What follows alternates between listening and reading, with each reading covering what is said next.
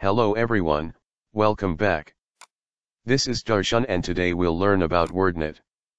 WordNet is an NLTK corpus reader, a lexical database for English. It can be used to find the meaning of words, synonym, or antonym. One can define it as a semantically oriented dictionary of English. It is imported with the following command.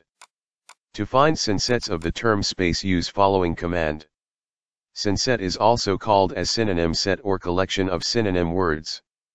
We can use lemma underscore names method to see what are the different variations of the word space exists. Then we can look for its definition and examples using following command.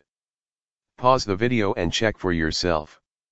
Now let's get synonyms and antonym of some word using following commands. As you can see we have simply used antonyms method.